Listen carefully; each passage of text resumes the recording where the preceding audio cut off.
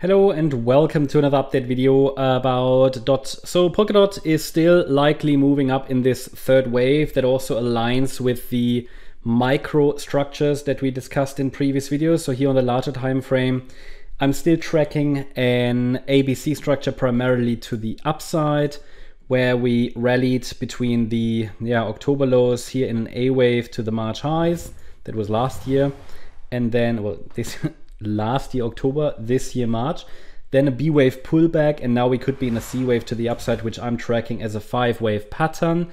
One, two, three, four, five. There should be another four, five pattern, but wave three is likely still unfolding. And as per the last update, find it quite likely that we touch 1238, for example, before starting that wave four. Should the wave four start a little earlier, and it's already due, it's just that the microstructure certainly still allows for a little bit more upside, but if the um, third wave is still unfolding, then yeah, 1238 could be the next target. But if the fourth wave has started already, then you could already pay attention to the support zone, which is already measured appropriately. So it's between 555 and 840. What we don't want at this stage to keep the overall uptrend alive is a break below 555. So the trend is up uh, without a doubt on a smaller time frame, but we have to be very careful that once we reach this blue zone, um, major top could form, but I would still like to see another 4-5 pattern. So the risk becomes very high once we get all five waves in wave C complete.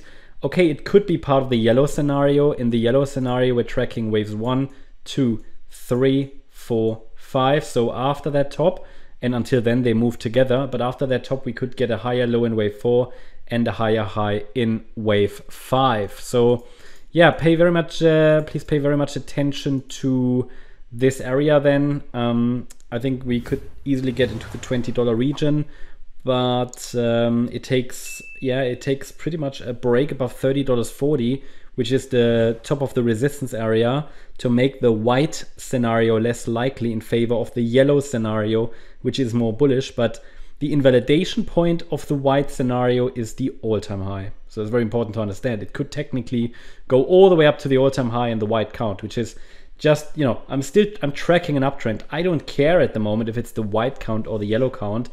I'm caring about you know uh, reward and risk and the reward to risk profile down here was much better than it is up there okay? Can tell you that.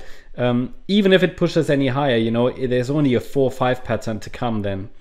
So that's what i'm tracking on the larger time frame. Looking at the smaller time frame here on the dot chart um, looking at Polkadot. So yeah, um, looking at the shorter time frame, I provided a micro support region recently. This is all part of that larger third wave. What we can do is also to add this blue resistance or let's say target zone to the smaller time frame chart.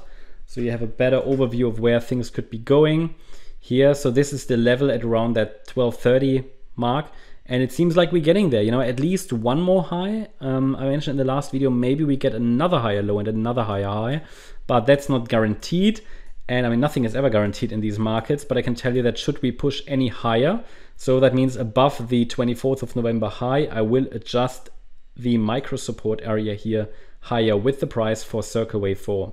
But there is no sign at this stage that Circle Wave 4 has started. Actually, it's even reversed in the micro support area. Plenty of plenty of small setups. People are asking me, you know, is it too late to enter or you know any setups? And they are there every single day at the moment. We have we have even just small pullbacks right?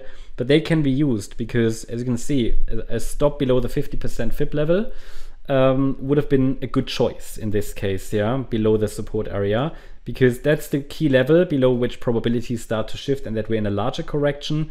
Um, so at the moment, yeah, we're still pushing higher, but I'd like to see this move to 1230 ideally before circle wave 4 starts. Maybe we even get another 4-5 pattern. I mean, these these third waves have extended uh, really in crazy ways across some other altcoin um, charts. But for now, we'll see if we can get to that blue target zone first. And 749 at the moment remains the first key support of that micro support area there. That's the update about uh, DOT. Hope you liked the update. If you did, please hit the like button, leave a comment, and subscribe. And if you really like the content, then please check out the channel membership. Also, make sure that you follow us on Instagram and Twitter. for additional content. Thanks a lot for watching. Bye bye.